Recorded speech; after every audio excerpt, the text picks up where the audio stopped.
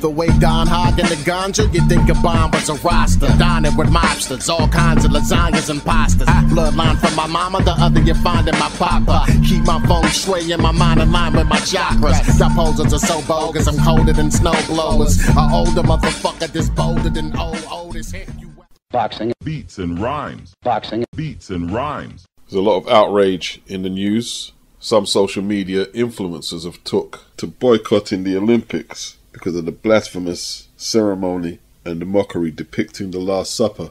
I don't approve of that. You got the Algerian boxer Amani Khelif and Lin Yu Ting, a Taiwanese boxer, who have both failed biochemical tests and were barred from competing in the World Championships last year as they had XY chromosomes. Amane beat Angel Carina from Italy yesterday in the Olympics. Lin Yu Ting is still yet to fight, and it's caused an uproar. They're also letting a volleyball player, Steven van Veld from Holland, 29 years of age, who raped, just in case, who raped a 12 year old in the UK in 2014. Well, Netherlands have seen fit for him to compete in their volleyball team, and he's in Paris playing volleyball in the Olympics. It's a lot to digest. It's a lot to digest, you know. Like, um, I still haven't seen Delicious Orie, the British super heavyweight. Apparently, he lost a split decision in the first round of the super heavyweight tournament, and a few boxers have lost via split decision from Britain. So it's not looking good for old Blighty on the trail for medals. It is what it is. Yeah, there's a lot of uproar. And no, I don't approve of the disrespect of the, the Savior Jesus Christ. I don't approve that. I don't approve of XY chromosome males beating on women.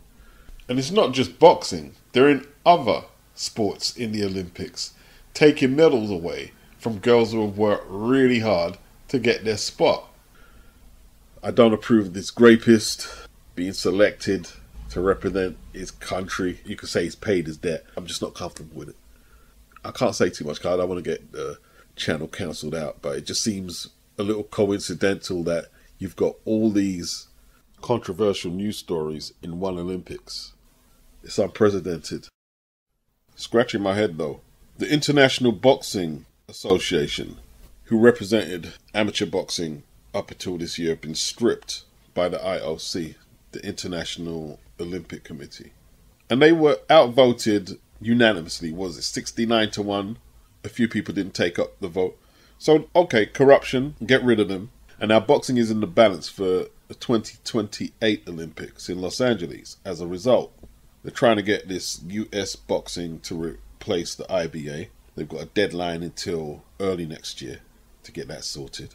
And of course, the International Olympic Committee are outraged by the corruption, financial and ethical issues. And while, yeah, there's a lot of corruption there, there always has been, we've known that. But it says here the International Olympic Committee are backing these transgender athletes, even though they failed these biochemical tests. They're backing them to go and beat up women, as I know women, with one chromosome. Now, what I'm trying to figure out is how the International Olympic Committee are any less bankrupt in their morality than the IBA. boxing, Beats and rhymes, boxing, beats and rhymes. Yeah, man. Looking back at the Olympic final 2016, Joyce versus Yoka. Both of them turned pro to a lot of fanfare.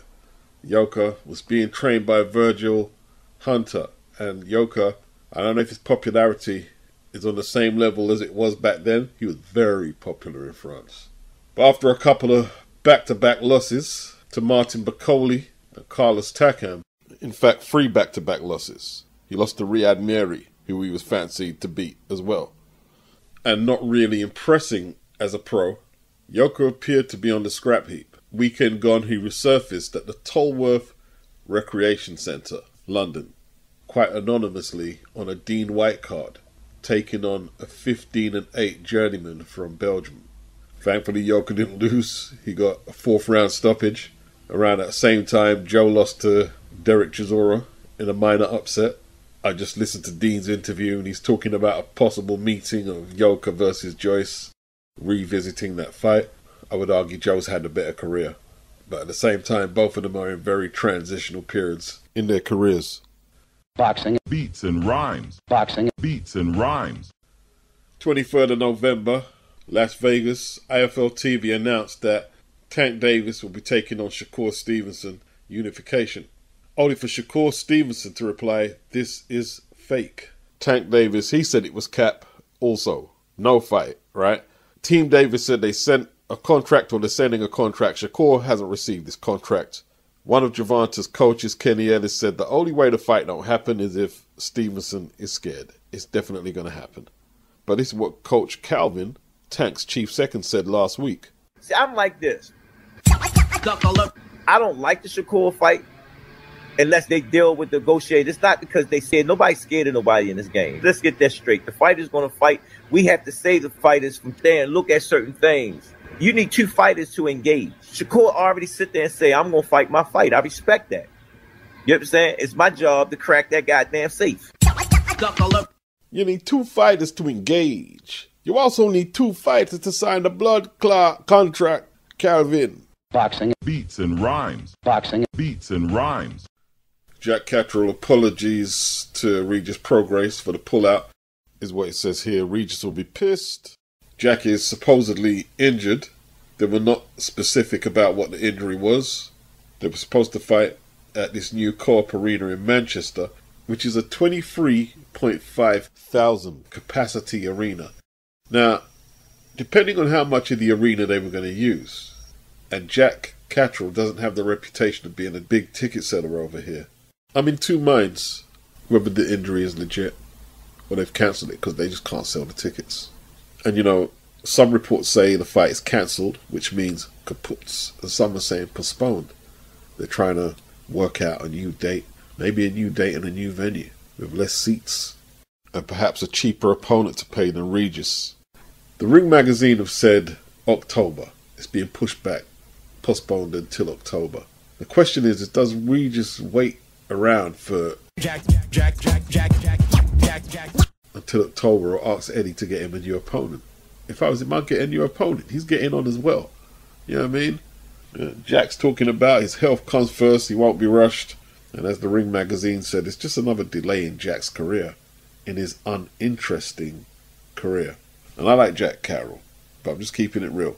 Aside from the controversial first Josh Taylor fight, his career is dry. The Ohara Davies fight was dry. Uh, hopefully, he's not going through a phase where he starts getting injured a lot as he gets older. Still hasn't had a world title shot. Waiting around for Josh Taylor. I always complained about it. You guys always heard me saying, don't wait around for Josh. Move on. boxing, beats and rhymes, boxing, beats and rhymes, Okay, so it was Santa Monica Pier in LA where they held the Grand Arrivals. They looked live, man. Looked like a good party. You know what I mean? Top rank. Had Eddie Hearn hosting the party. You know what I mean? Eddie was breaking down the fights. Eddie said that Jared Anderson versus Martin Bakole is a 50 50 fight. Jared didn't take too kindly to that. Him and Eddie had words. Told Eddie to put his money up if it's a 50 50. Jared very animated on the stage, face to face with Bakole, who told a reporter, I'm here for business. He's not here to play. He's not here to enjoy the sunny weather or any of that. But somebody on Twitter saw something I saw. When Jared started dancing in front of Bakole after the face off, I feel some of the energy is fake energy. I do. I do. Not saying he's going to lose, but I feel he's not as confident as what he tries to give off. The dancing, the bling, etc., etc. I'm still picking him to win, tentatively. I don't think he's got good boxing skills like that. I feel he has to box and punch with Bakole. He's the younger dude. He's still in his mid 20s. We don't know how old Bakole is. Anyone seen a legit birth certificate? He's not fast on his feet. And all Jared, in my opinion, has to do is implement some foot movement and it will make it a lot easier. I'm not saying that gets him the win alone, but it will make it a lot easier for him. I have it a 50 50, but I'm going to pick Anderson because I, I, I just can't believe he's America's brightest hope and he's going to get brushed away by Bakole. I have to believe that whatever Michael Hunter did to Bakole, Jared Anderson can do it. They bought in Sugar Hill for Jared, trying to get some of that Tyson Fury factor, I guess. We'll see how it goes. We'll see. boxing, beats and rhymes, boxing, beats and rhymes, And we go from Jared Baby Anderson to Jarrell Baby Miller against Andy Ruiz. This one, it should be straightforward. Andy Ruiz is a good counter puncher. He's a bit more cuter in the pocket than Daniel Dubois, who will just walk in and look to thud his jab or swing a power punch, while Andy picks his punches with a little more sophistication. Andy has the better hand skills. I don't know if Jarrell Miller's fat camp, which is what it's been, has served him as much as he would have hoped. We'll see. Like I said, it should be straightforward. Andy Ruiz wins, late stoppage or points. More likely points. But that timeout that Andy's had away from the ring, two years out. Now, is that down to him or is it down to the PBC not getting him the fight dates? Two years out, and he didn't look that good against Luis Ortiz. He decked him a couple of times. If he put his foot on the gas, he would have got him out of there. But ever since Chris Arreola floored him and took him the distance, he's looked reluctant to take fights. I don't know if he's living too good off that money he's made. And I don't know if he's doing a Wilder. You know, Saudi's put up a bag and now he's lured out of his hiding place to fight because of the Saudi bag. Will Andy become a casualty of the Saudi bag? And Jarrell Miller guts him like a rainbow trout. Let's hope old nut job Miller doesn't pop. Yeah? Let's hope he doesn't pop. His, his inactivity was between 2018 2022 when he popped for the title challenge against unified champion Anthony Joshua, served his suspension, signed to top rank, was about to have his debut on top rank, and then he popped again. So that kept him out of the ring for four years. Andy Ruiz's inactivity, stopping Anthony Joshua 2019, and then losing to Joshua on points later on in the year. Since then, he's had a total of two fights, man. Two fights. Chris Arreola put Andy on the canvas for the first time. Andy lost a whole load of weight for that fight. Some theorize that Andy's used to fighting fat, and losing all that weight is the reason he got decked and looked sloppy in there. And as wacky as that sounds, even I'm thinking, oh no. I think that fight took a lot of confidence from Andy. That was a year and a half after Joshua avenged the loss to Andy. Andy's got a lot of psychological issues. Yeah? That's one reason I'm tentative to pick him. That's one reason. That and the inactivity. Then 2022, he had the fight with Luis Ortiz, decked Ortiz twice, labored a little, and won a UD, let Ortiz get back into it a little. Wasn't that impressive? And I have my doubts he's improved since then. I can see a scenario where Miller outworks Andy if he's prepared to take that mid range combination power from Andy, if he's prepared to take that and walk through it, I can see Andy potentially losing a points decision. But at the same time, Jarrell don't have the same talent Andy does. So it's a bit of a cop out. But one thing I've learned is them inactive fighters, think about it before you back them. Think about it. This one, I'm going to sit back and watch. Stay neutral on the pick. Boxing. Beats and rhymes. Boxing. Beats and rhymes. It will be difficult for Israil Madrimov to keep his belt on Saturday. From my opinion, most he can hope for is to be competitive. There's nothing that leaps out that suggests he's got the extra dimensions to beat Crawford. Good fundamentals, nice high guard, which is all good. But Bud will more than likely use the six inch reach advantage to win the duel of the jabs early, then bring his extra weapons into play. And unlike Madrimov's last opponent, who he fought for the vacant WBA title, you won't see Bud holding his left hand nearby his thigh when he's in punching range to get whacked with right hands. A lot of people say that Madrimov's physical strength could be an issue for Bud, and it could be, and I think it will be. I think it will be an issue. Madrimov will want to put Terence Crawford on the back foot, put the smaller man in his place. Crawford will not be happy with just being pinned on his back foot for the fight. Neither one is going to want to be the hunted. But defense will come into play. Like Crawford's combinations of the jab, you don't see where the punches are coming. Does Madrimov have the static defense so he can stay in the range and counter? Or what's he like on the back foot? These are key questions which could decide the fight. And if Madrimov has enough power to make Crawford respectful, because Crawford is good at catching shots, catching shots and countering. He done it brilliantly against Errol Spence. But then again, Spence was either no match for Crawford or he was washed. Madrimov is physically strong, but he's not a huge puncher. He's not a huge puncher. Kurbanov aside, his recent fights have he stepped up. A lot of the fights have gone 10 rounds. Crawford's KO'd his last 9 or 10, albeit at a lower weight. Will he try to box with Crawford? Will that be a mistake? Crawford vastly more experience as a pro. 11 fights. Madrimov has a lot of questions that need to be answered. Can he take a punch? He looks like he can. Looks a big, strong lad. Haven't seen much slippage in Terence Crawford, but you know, he's in his late 30s and he's at a new weight. If he decides to sit on the ropes, needing a rest, that could be one window of opportunity for Madrimov. And he is a good body puncher. I do expect him to give Crawford some issues in the trench. I do. Crawford's my favourite fighter, so I don't want to come off too biased. Like, Madrimov has done well to win his belt. You could question Kurbanov's credibility. I saw Liam Smith go over to Russia and was unlucky not to get that verdict against Kurbanov.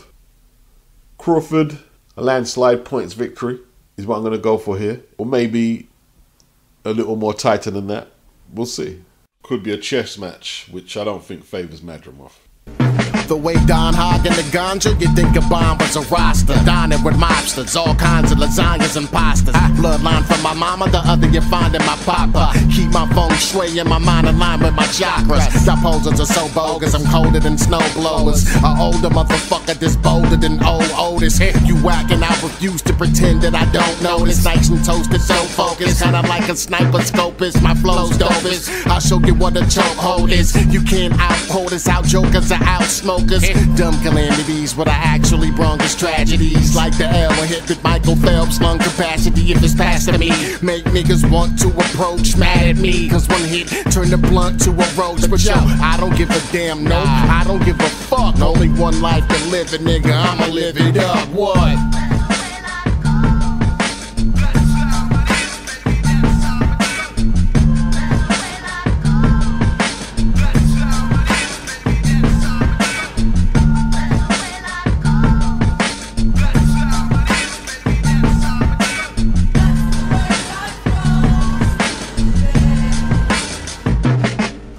Yeah.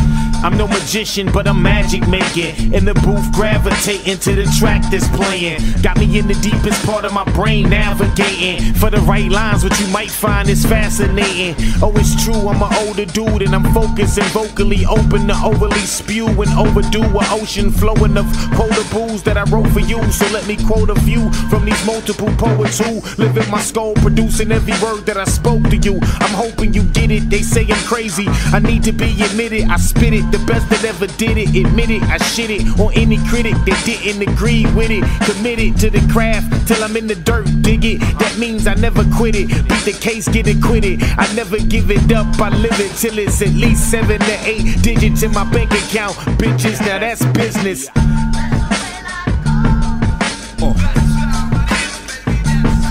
Okay.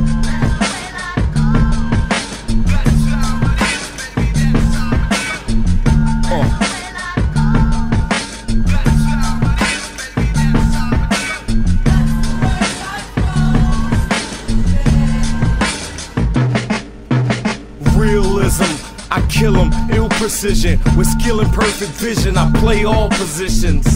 My pen on point, accurate, but still my pen's ill and spill lead on accident. Illa ink, iron shots for the anemic. Y'all throw it up, we eatin', y'all bulimic. Might lose my mind, but never my mic. And for murder in the music, I'm doing 25 to life. Chief of pathological, microphone blazer that'll clobber you and kill all your dreams with one verse. I demolish you. Ill 16s off the dome, and yeah, I got a few. And I'm soon to be the king on the throne, and y'all ain't got a clue. I'm a lot of things, but I'm not a fool. Not a dude to sleep on. Stay alert, niggas, I got a lot of moves. Still in my prime, I got a lot to prove. So every time I breathe in a cipher, I literally beat the shit out of you.